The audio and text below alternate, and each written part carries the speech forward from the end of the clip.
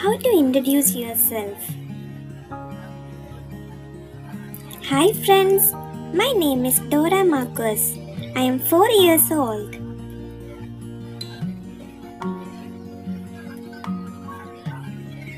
I study in KG in MIN Public School, Macadam.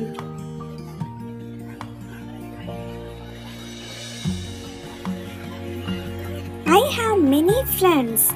My best friend is Boots.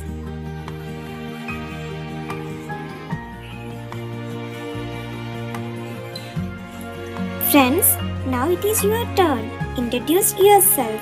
Your parents will help you. See you later. Bye bye.